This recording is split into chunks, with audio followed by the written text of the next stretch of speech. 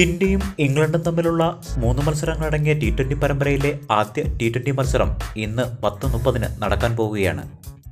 ലോകമെമ്പാടുമുള്ള ക്രിക്കറ്റ് ആരാധകരെല്ലാം ഒരുപോലെ ഉറ്റുനോക്കുന്ന മത്സരങ്ങളിലൊന്നു തന്നെയാണ് ഇന്ന് നടക്കുന്ന ഇംഗ്ലണ്ട് ഇന്ത്യ ടി ട്വന്റി പരമ്പര.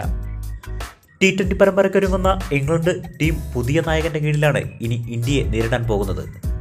മോർഗൻ രാജ്യാന്തര ക്രിക്കറ്റിൽ നിന്നും വിരമിച്ചതോടെ സൂപ്പർ താരം ജോസ് ബട്ട്ലറാണ് വൈറ്റ് ബോൾ ക്രിക്കറ്റിൽ ഇംഗ്ലണ്ടിനെ നയിക്കുക എന്നതും മറ്റൊരു കാര്യം തന്നെ.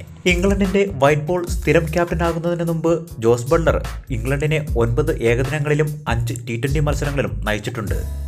ബട്ട്ലർക്ക് കീഴിൽ ഒൻപത് ജയങ്ങളാണ് ഇംഗ്ലണ്ട് സ്വന്തമാക്കിയിട്ടുള്ളതും.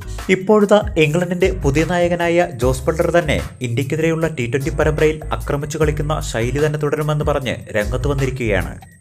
ഇന്ത്യയെ നേരിടുന്നതിനു മുമ്പ് ബി സി സി സ്പോർട്സിന് സംസാരിക്കവെയാണ് ബട്ട്ലർ ഇക്കാര്യം വെളിപ്പെടുത്തിയത്. മുൻ ക്യാപ്റ്റൻ ഒയിൻ മോർഗന് കീഴിൽ കളിച്ച അതേ ശൈലി ഇംഗ്ലണ്ട് തുടരുമെന്നും തന്റെ ആഗ്രഹമെന്നുമാണ് ബട്ട്ലർ ഇപ്പോൾ കൂട്ടിച്ചേർത്തിരിക്കുന്നത്. ഇംഗ്ലണ്ടിന്റെ ശൈലിയിൽ യാതൊരു തരത്തിലുള്ള മാറ്റവും വരുത്തേണ്ട ആവശ്യമില്ലെന്ന് പറയുന്ന ബട്ട്ലർ ഇനി ഇംഗ്ലണ്ടിന്റെ നായകസ്ഥാനം ഏറ്റെടുക്കുന്നത് ആരാണെങ്കിൽ തന്നെയും ഇതേ ശൈലി തുടരണമെന്നും ആഗ്രഹിക്കുന്നുവെന്നും താരം പറയുകയും ചെയ്യുന്നു. ഇനിയൊരു തിരിച്ചുപോക്ക് ഇല്ല എന്നും ഈ ശൈലി ചിലരെങ്കിലും അടുത്ത തലത്തിലേക്ക് കൊണ്ടുചെന്നെത്തിക്കാൻ ശ്രമിക്കുമെന്നും ഞാൻ കരുതുന്നു എന്നും ബട്ട്ലർ കൂട്ടിച്ചേർക്കുകയും ചെയ്തു. ഈ വീഡിയോ ഇഷ്ടപ്പെട്ടാൽ ചാനൽ സബ്സ്ക്രൈബ് ചെയ്യുക.